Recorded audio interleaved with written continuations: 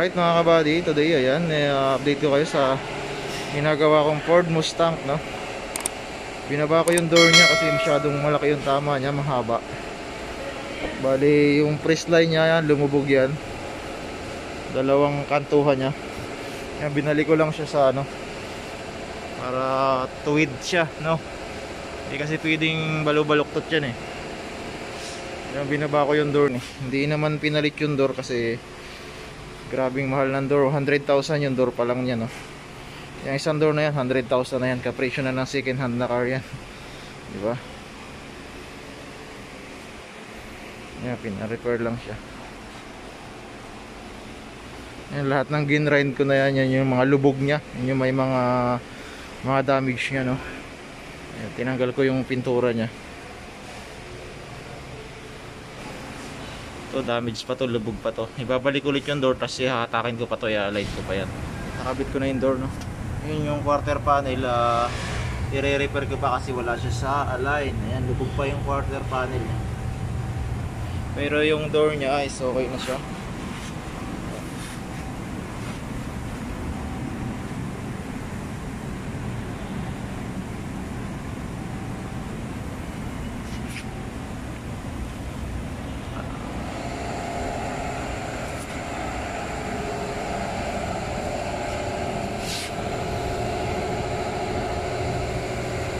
i-body filler yun, imamasilya yan ang buo, quarter panel.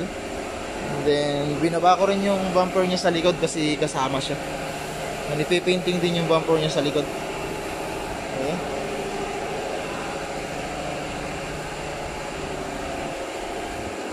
Hindi ko na kinukuhanan yung actual na pag-dismantle.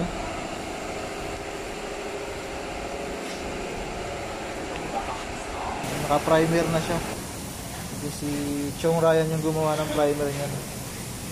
Siya yung nag uh, painting preparation niya. Ayan o. Yung press line niya, inunat natin. Ayan o, tuwid na tuwid no.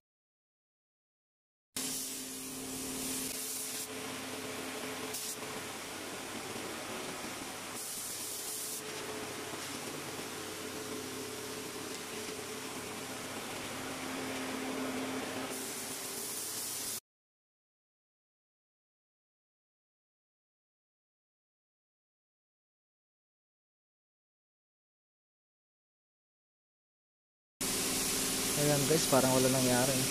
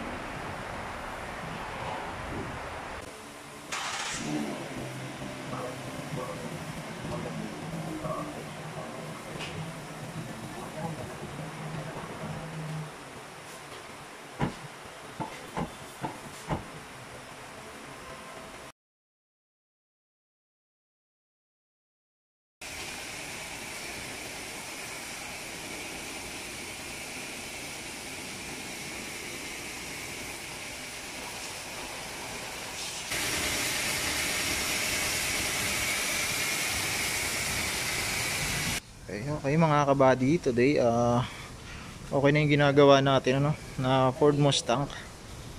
Ayan, ah, yung damage na nandyan sa door and then quarter panel. Ah, actually wala pa siyang sticker no kasi one month pa siya bago dumating yung sticker kaya kukunin muna siya ng client pag dumating yung sticker niya ibabalik na lang no. Yung door na ni-repair natin mga kabady okay na.